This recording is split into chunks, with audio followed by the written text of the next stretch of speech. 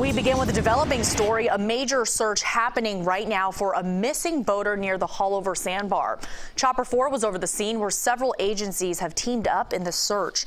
Good afternoon, I'm Frances Wang. The call for help actually came in the middle of the night, and investigators are still trying to figure out what happened.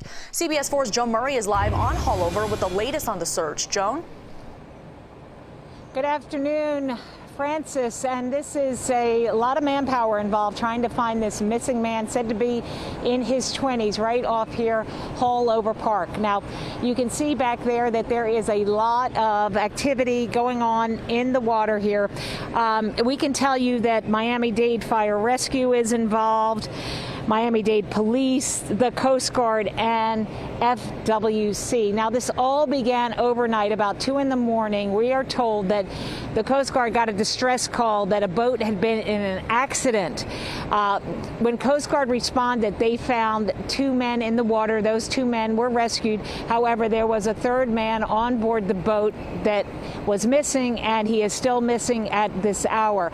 I spoke to Miami-Dade Fire Rescue a short time ago. They told me that they were were called to come in on the search about 2 in the morning. They assisted till about 4.30 in the morning, at which point uh, the search was called off. They said they were asked to come back about 8.30 this morning, and they have been out there ever since. So uh, the intense search resumed this morning when it was daylight.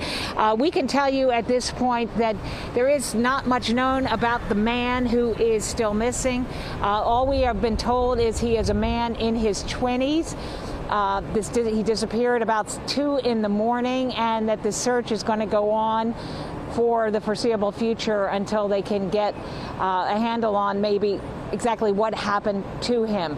So at this point, again, you have a number of agencies involved. We saw Coast Guard overhead, Coast Guard in the water. We saw Miami-Dade Fire Rescue, a boat in the water. Miami-Dade Police has a boat in the water as well as FWC. So this massive search continues for this man said to be in his 20s, involved in this boating accident. We're not sure the circumstances. One theory is they may have hit a sandbar out there that caused all three to be ejected from the boat, but that has not been been confirmed.